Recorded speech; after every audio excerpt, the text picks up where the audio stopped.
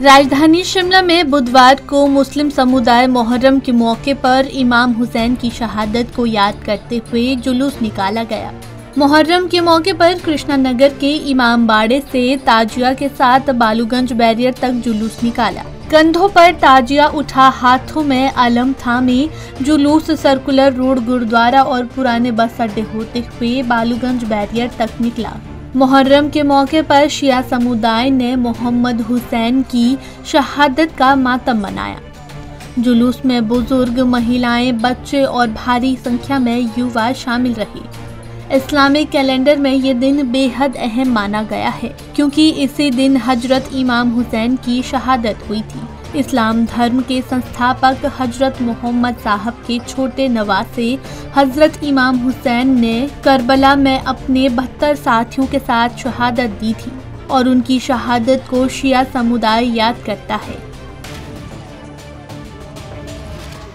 मुहर्रम का उद्देश्य यही है कि हमारा स्टैंड हमेशा से इनजस्टिस और हमेशा से इंसाफ के लिए रहा है।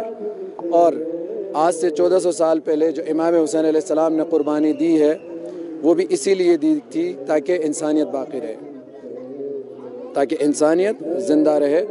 और इसी वजह से आप हिंदुस्तान के जितने भी लोग हैं वो जानते हैं, क्योंकि ऑफिशियल छुट्टी रहती है आज के दिन। तो ऑफिशियल छुट्टी का मतलब ये है कि हिंदुस्तान में एक इसका एक मर्तबा है, एक मकाम है।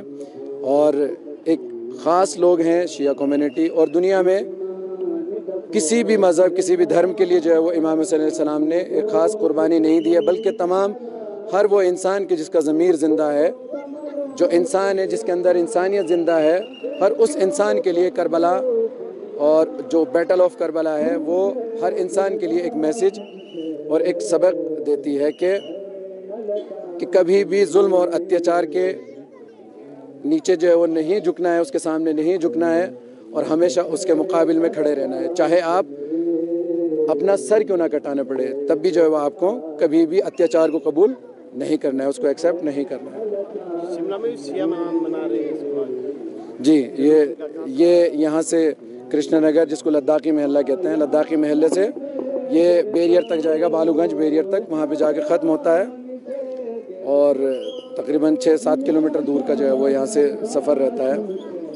और ये ख़ास कर जो है वो दस मुहर्रम को यहाँ से हम लेकर जाते हैं। जी शिया लोग इसमें जो है वो पार्टिसिपेट करते हैं वो भाग लेते हैं। आपको बता दें कि आज से 1400 साल पहले करबला के मैदान में मोहम्मद हुसैन ने इंसानियत की खातिर शहादत दी थी। उनकी शहादत को याद करते हुए आज के दिन शिया समुदाय जुलूस निकालता है और साथ ही जुल्म और अत्याचार के खिलाफ कभी सर न झुकाने का भी संदेश दिया है।